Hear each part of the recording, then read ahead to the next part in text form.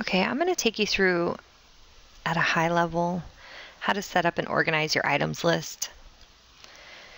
There are so many fields in QuickBooks that we can use to get data out of, right? And as long as there's data in that field, we can find ways to report on it. However, if you're not used to knowing all of the fields that are available in, QuickBooks, right? This is just a way to think about to consider how to set up your items. If you need help, call. okay, so when we're dealing with item setup, it's always what is our end goal. I need to know profitability. I need to know quantity on hand. I need to know sales numbers, right? That's our end goal. What, what do we want? What do we what output do we need? Okay?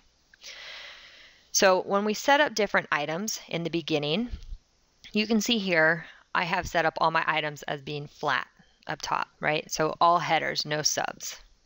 Okay. Down below here though, I went into some subs.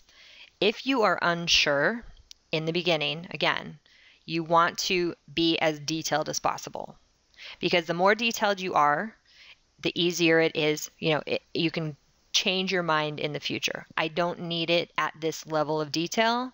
You can always roll it up and merge accounts together. If you need more detail though than what you've started with, you're going to have to go back and edit all of the transactions to make them have more detail. So I always say when you're setting up your items, be more detailed than you think you need even. Um, because we can always correct it in the future if we need to merge things down. All right, so what do I mean? So we had the video just above this about header and sub accounts. So items have the same thing, header and sub accounts. This is pool covers, this is a header. I have Joe's pool covers versus Mike's pool covers. That's my sub level one. Under Joe's pool covers, I have blue pool covers versus green pool covers. That's my sub level two. Then I have under blue pool covers, I've got dark blue and aqua right? Sub level three. And then I actually have the ability to go down another level. So five levels down, you have the ability to do that. Okay. Why do we do it at each of these levels? At each of these levels, we have the opportunity to roll things up. So when I go and look at a report for, let's just say a sales by item summary report for all time, right? I have pool covers, which I can roll up just to see pool covers as a whole. I can expand that and say I just want to see Joe's versus Mike's pool covers. Okay, I can expand Joe and say I want to just see blue versus green. Or I want to see all details, right? And it takes me down to the lowest level. So it's purely for reporting. Okay. Again, why we would want to have it at this level is I don't know, right? If I go in and say I've I have 31 blue pool covers, it doesn't tell me how many I need to order, right, of the individual of the aqua or the dark blue. So if you need to know at the aqua or the dark blue level, you want to set those up as subs. If you just care how many blue pool covers do I have, you don't need to set up those additional subs. Okay. All right. So again, we want to do it in as much detail as possible in the beginning because if it turns out, you know, I don't, you know, aqua versus dark blue, it doesn't matter. The clients never know whatever it is, right?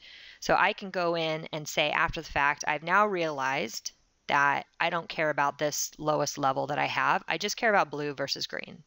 So how can I fix that? I can go in here and I edit the item. This is how I do it. I edit the item and I copy the item name because I want it to be exact, right? I've got an apostrophe in there. Is there a period? I don't know. You know, I want it to be exact. Then I want to make sure that my items list is in its original order. So I'm going to go in and resort my list. Right now it's in its original order, and I can also tell that it is because I don't have a little diamond up here in the corner. So I'm going to take this item that I don't need this sub anymore, and I'm going to drag it so that it's at the same level as my blue PCs. Then I'm going to edit the item, paste blue PCs in there, and QuickBooks will ask me and it'll say, hey, this item name is already used. Do you want to merge them? And I should say yes.